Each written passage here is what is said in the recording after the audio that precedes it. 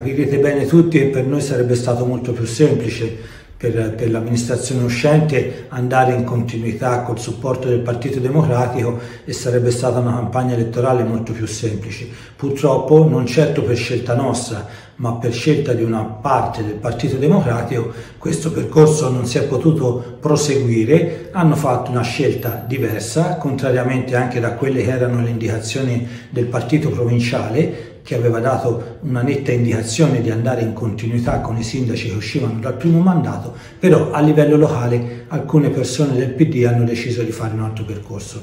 Purtroppo malincuore ne abbiamo preso atto, però eh, non, non, siamo stati disposti a farci da parte come ci era stato chiesto, ma ci, ci, sembrava giusto continuare la nostra azione amministrativa. Dopo cinque anni appena conclusi, veramente difficili, dei quali una prima metà praticamente persa a causa del Covid, ora che abbiamo iniziato a mettere insieme tanti progetti, tanti finanziamenti, eh, ci sembra anche giusto anche nel rispetto delle tante persone che ci hanno votato cinque anni fa, continuare la nostra azione di governo e portare avanti tanti progetti avviati. Ma i punti principali eh, sono ovviamente eh, alcuni confermati, nel senso che eh, la valorizzazione del territorio rimane comunque il nostro obiettivo primario e questa si, si ottiene anche attraverso un grande rapporto con tutte le associazioni del territorio e con le quali abbiamo già collaborato tanto in questi anni, sia associazioni di tipo sociale, di tipo sportivo, ma anche le Prologo, con le quali collaboriamo per tantissimi eventi e tantissime iniziative, e ovviamente un occhio di riguardo sempre alla questione eh, sociale, perché comunque anche se il nostro è un territorio eh, ricco di, di, tessuto sociale, però le difficoltà sono tante, abbiamo già un, un percorso individuato per un futuro eh, di una nuova casa di riposo, per una riconversione dell'attuale Fabri Bicoli, per la quale abbiamo ottenuto proprio in questi giorni un finanziamento di 700 mila euro per l'adeguamento sismico, quindi una progettualità per riconvertirla eh, in nuovi servizi a disposizione della nostra comunità e il progetto già finanziato finanziato anche quello nel PNRR attraverso la conferenza dei sindaci 800 mila euro per realizzare Casa Pogi, cioè una, una casa famiglia per gli anziani non autosufficienti dove lì possono essere seguiti e accuditi anche attraverso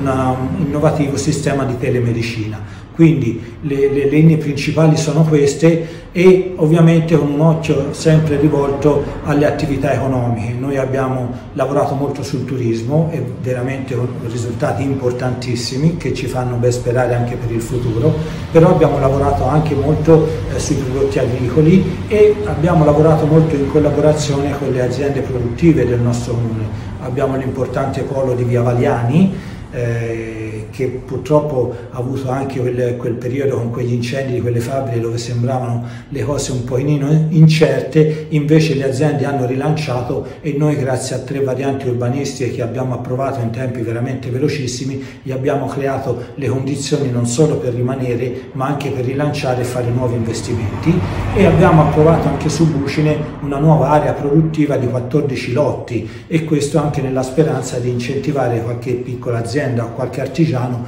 a trasferirsi eh, su Bucine e, e, creare nuove opportunità di lavoro. Per scongiurare diciamo, le conseguenze negative di questa frattura che c'è stata un po' nel centro-sinistra, noi ci presentiamo come lista civica, quindi con degli orizzonti anche più larghi, ci siamo aperti molto alla società civile, ci sono eh, innesti di figure che non sono riferite eh, precisamente al centro-sinistra, ma sono figure anche di un'area più, più, moderata e più ampia, e però eh, l'importante è avere apporto apporto di, di, di, di conoscenze e, e di, qualità anche specifiche in modo che eh, per avere per i nostri cittadini un'offerta veramente attrattiva andare al di fuori da, da, dagli schemi della vecchia politica che purtroppo è riaffiorata in questi mesi ma noi la vogliamo superare vogliamo uscire da, da, da, quella, da, quel modo di ragionare, noi ci proponiamo per,